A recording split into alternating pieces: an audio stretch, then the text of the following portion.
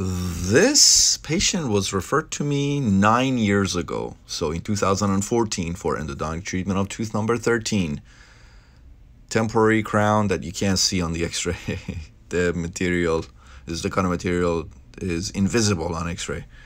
Temporary crown and um, she had all the signs and symptoms of irreversible pulpitis with acute apical periodontitis. So as I said, that was in 2014 when she came to see us and we recommended root canal. And as you can see, here's the date, 2014, so nine years ago.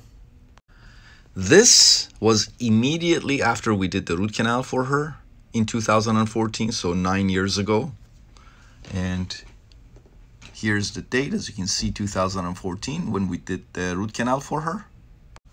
And look, did I obturate short?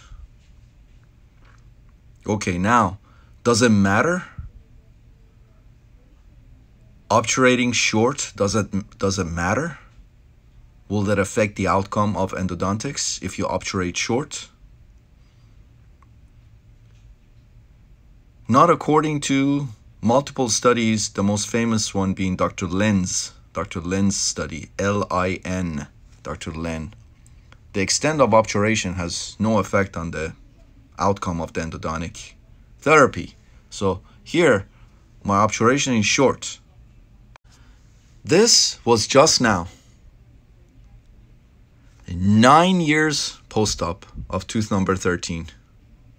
And here is the date. It was just now.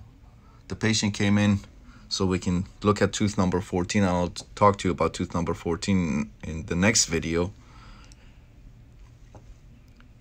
Nine years post-op of tooth number 13. Tooth is in full function. Patient has no symptoms. And as you can see, no periapical radiolucencies or issues. Nine years post-op of tooth number 13. Again, here is the date. As you can see, nine years post-op of tooth number 13. The extent of obturation has no effect on the success rate of endodontic therapy. And here it is. Nine years post-op of tooth number 13.